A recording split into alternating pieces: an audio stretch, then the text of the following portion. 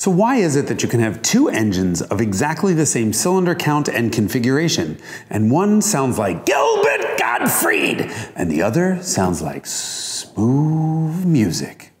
Well, as usual, it all comes down to length and the evenness of your pulses.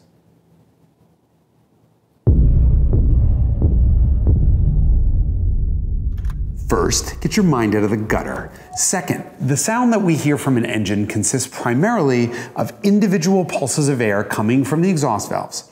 If those pulses of air reach our ears at regularly spaced intervals, the sound tends to be smooth and clean, like an F1 car.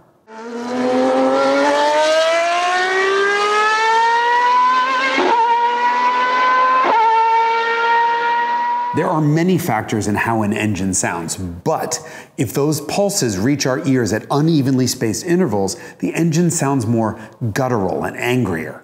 What determines the evenness of the sound wave can be either inside the engine and thus has everything to do with the crankshaft, or outside the engine, which is the pathway between the exhaust valve and the exhaust tip. First, let's talk about what happens inside an engine. Some engines fire at evenly spaced intervals. The V10 from the original Lamborghini Gallardo, for example, fired one of its cylinders every time the crankshaft rotated through 72 degrees. And it sounds like sweet love.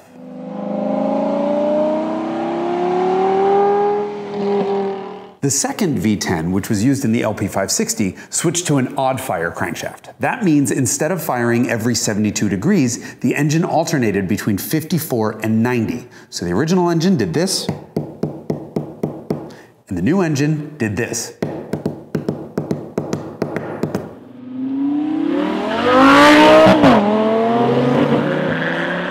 Not only is its pitch lower, but it's more guttural and more complicated.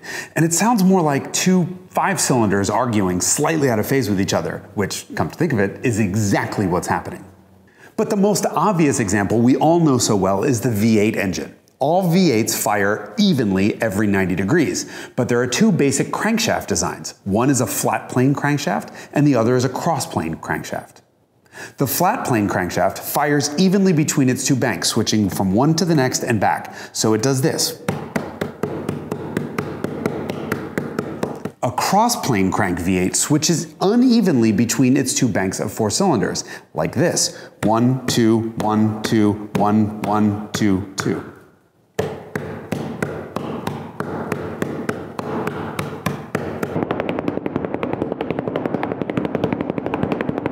And that's why a flat plane Ferrari V8 sounds so different than a cross plane GM small block.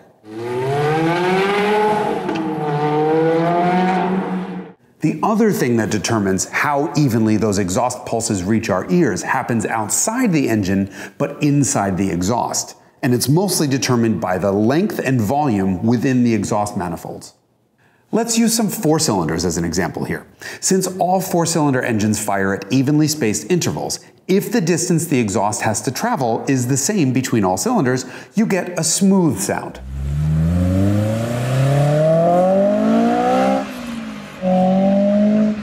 If the distance for some of the cylinders is longer than others, well then you get an STI, the Subaru kind.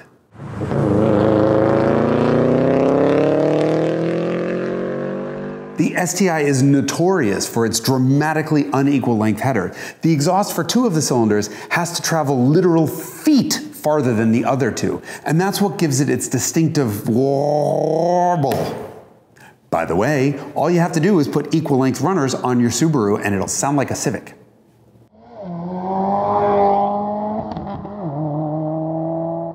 The more the runner lengths vary, the more guttural and staccato the sound is and the deeper the sound is. If every different cylinder has a significantly different runner length, well, then it all starts to sound like a deep white noise, in the same way that a lot of differing voices in a stadium sound like a dull roar.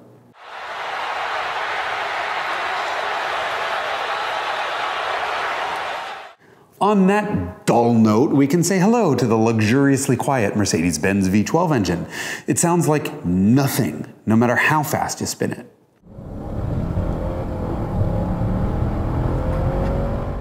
However, if you put equal length headers on that engine, you turn your old Mercedes into the slowest Formula One car you've ever heard.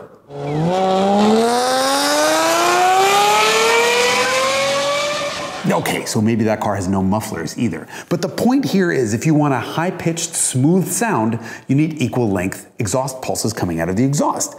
But there are times you don't actually want this. We've all heard the Nissan VQ V6.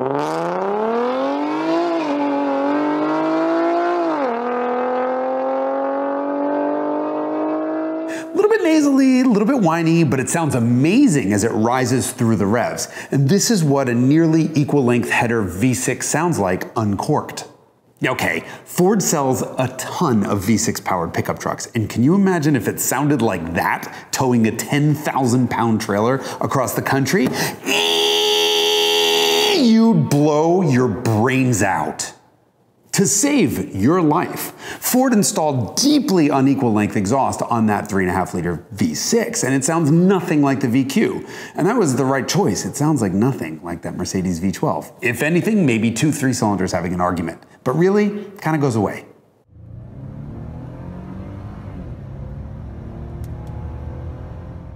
Most of the time, we see unequal length exhaust on cars, and that's for cost and packaging reasons. A simple cast iron manifold isn't expensive to produce and doesn't take up a lot of space.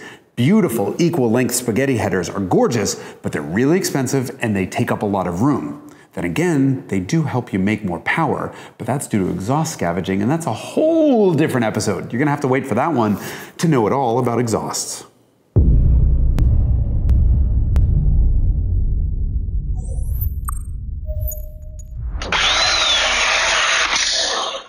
An idiot. You know how this stuff works. Like, subscribe, comment, and don't forget to check out the Hagerty Drivers Club.